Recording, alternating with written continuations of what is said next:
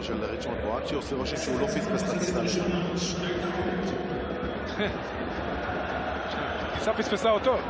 יכול להיות. הנה, עכשיו הוא יכריח לנו, הנה בואצ'י!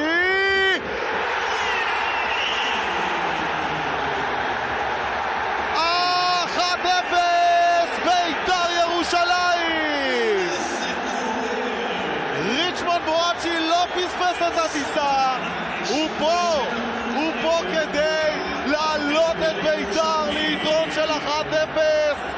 בתוך תוספת הזמן.